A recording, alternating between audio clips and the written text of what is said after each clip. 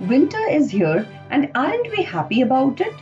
While the feel good season means time for a whole lot of holidays, festivities, and binge watching your favorite content on TV, there are a few things that are not quite as charming as these. The dull, cold weather can cause some problems, and it is important to equip yourself with all that you need in order to get through the season unscathed. The winter season brings with it a few challenges and health related risks, especially for the elders. Hi, I am Firdaus Mudassir and welcome to my channel.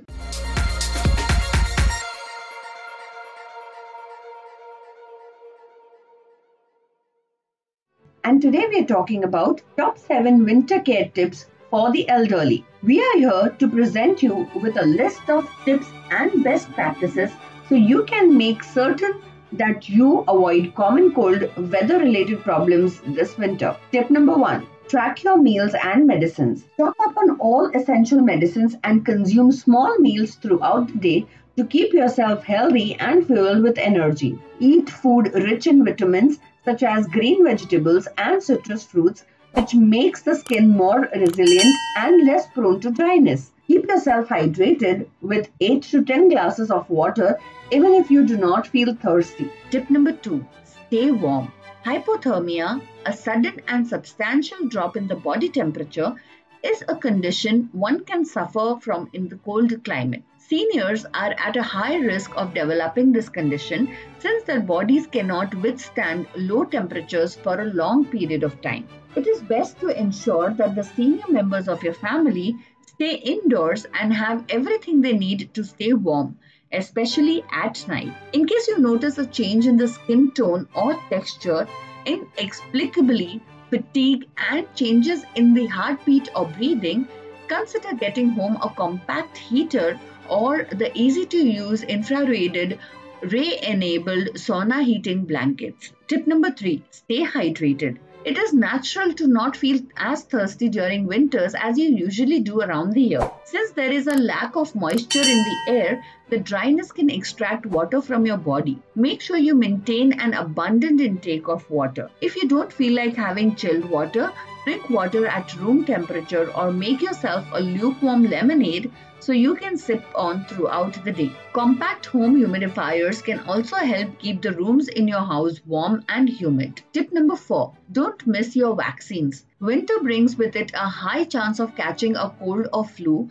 thereby making it important to get all the flu shots on time. There are many vaccines available for adults. All elderly above the age of 65 years should routinely be vaccinated for flu and pneumonia. Flu vaccine should be given every year in November or December. Pneumonia vaccine is given once after the age of 65 years People younger than 65 years of age with comorbid medical conditions should also be vaccinated, like people with lung problems, kidney problems, liver problems, smokers, diabetic, or patient with weakened immunity like HIV. Do ask about the vaccine when you visit your doctor next. Tip number 5 Stay active. While winters may seem like the perfect season to stay in bed for longer periods, curl up and stay indoor all day, it is recommended that you keep yourself active and engaged. Any form of exercise can help increase your heart rate, regulate the body flow, and keep winter related depression, lethargy, stiffness, and pain away. Physical activity also makes you sweat, in the process, flushing out toxins and keeping your skin healthy. You could invest in a few handy exercise aids that allow you to do your workouts at home in case you cannot step out. Tip number six take care of your skin. The cold and dry air we spoke about earlier can also make your skin's natural oils vanish. And nobody likes dry, itchy, or flaky skin. While the human body is designed to keep the outer skin healthy and hydrated, winters make it difficult for the oil or sweat glands to do their job efficiently. Using certain skincare products and following a strict routine can go a long way in ensuring that your skin stays fresh, soft, and healthy. Make sure you take good care of your feet and heels too. Consider using foot washer that gives you a home pedicure in the most hassle-free way possible. And the last tip on our list is shower using lukewarm water.